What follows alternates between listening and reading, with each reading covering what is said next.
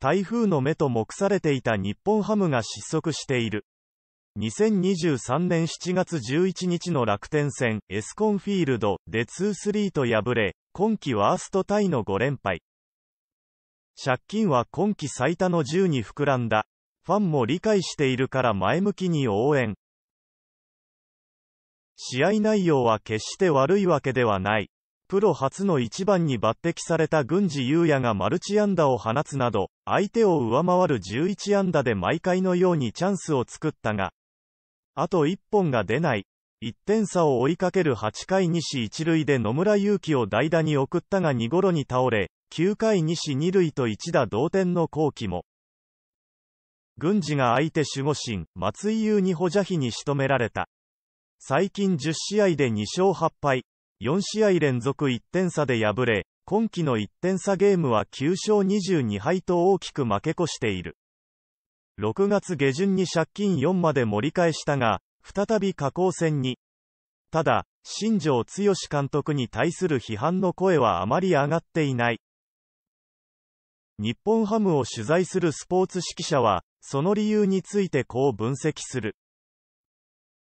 試合を見てもらえばわかると思いますが、勝敗は紙一重の展開が多い。昨年は戦力差を痛感させられることが多かったですが、今年は十分に戦えている。新庄監督の目指す野球は確実に浸透しているし、ファンも理解しているから前向きに応援してくれる。5は経験値を積むことですね。若手が多いチームなのでまだまだ発展途上だし、実践を積み重ねることで覚えることが多い。チームが強くなるために必要な時期だと思います。投打が噛み合えば、また勢いを取り戻す可能性は十分にあるでしょ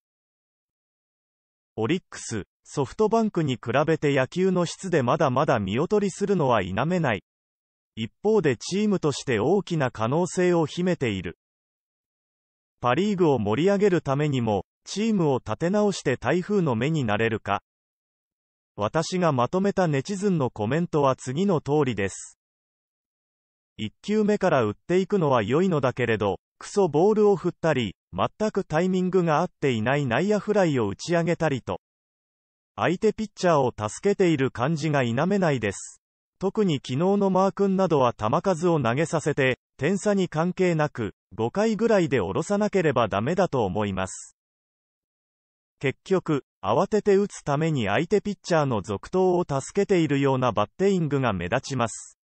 中島選手のような粘りのあるバッターが必要ですね。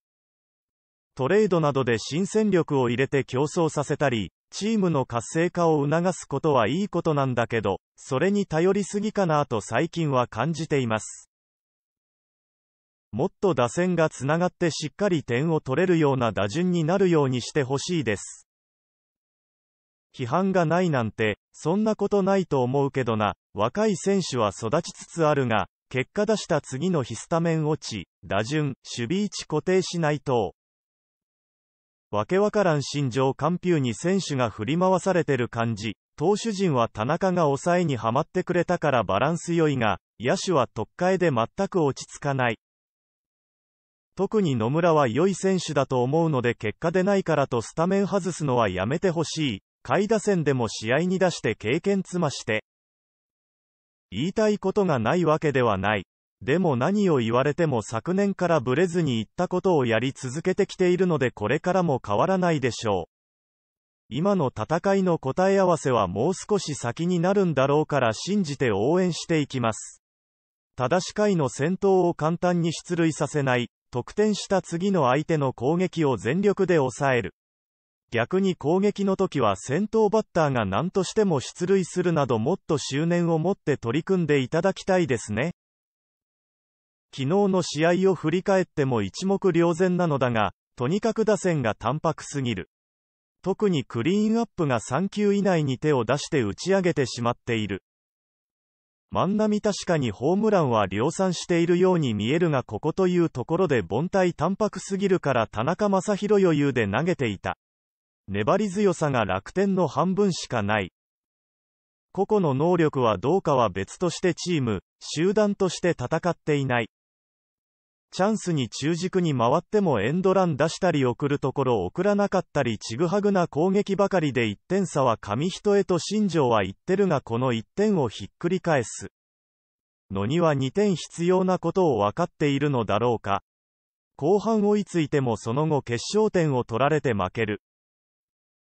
こんな試合を今シーズンもたくさん目の当たりにしてるがどうなんでしょう。ベンチワークで負けてる感じしますけど。今でこそオリックスは強いですが、何年も優勝候補に挙げられながら下位に沈むシーズンが多かったですよね。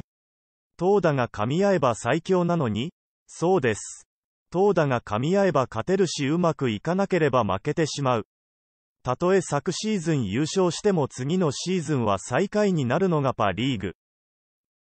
本当に恐ろしいリーグで日ハムは全てのチームと互角に戦えているチームに新庄監督や稲葉 GM、コーチ陣や裏方の皆さんに感謝です。そして去年よりも勝利に飢えている選手に育てたのが素晴らしい。今年は1点差で負けてしまう試合が多いですが、悔しさを糧にしてほしいです。もちろんパリーグのチームと選手、すべてのスタッフに応援と感謝を。紙一重で負けるのが一番弱いチーム。投手が夏場と移動で大分落ちてて粘れなくなってる中1点を取りに行く送りバントとかが明確にはまってない。僅差を勝ちに行くのはわかるけど、時期とかチームのコンディションに合わせた采配頼むぞ新庄。夏場は打線で勝つ。ここ最近僅差での接戦を落とし続けている。点差はないけど、その割には試合を見ていて相手チームが余裕を持って試合をしているように感じます。今、ちょっと打線が低調になっているというのも負けが込んでいる要因だと思いますが、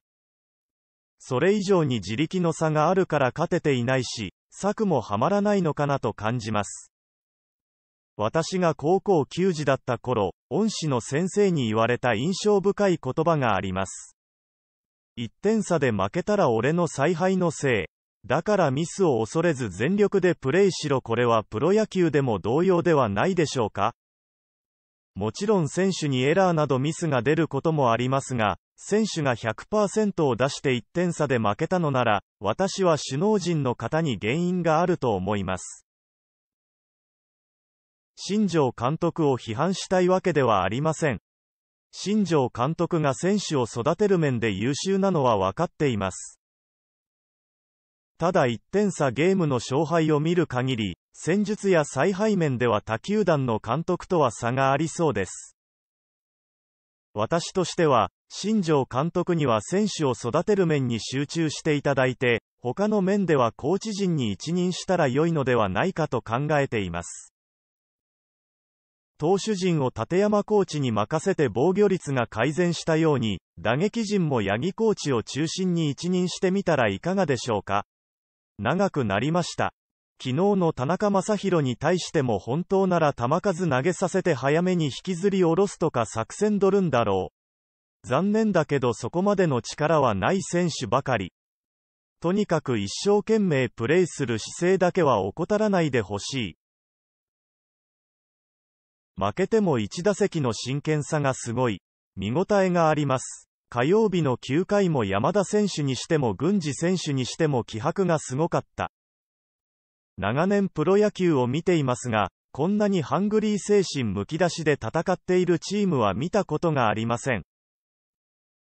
1点差負けの試合を克服したら一気に上がっていきそうな気がします。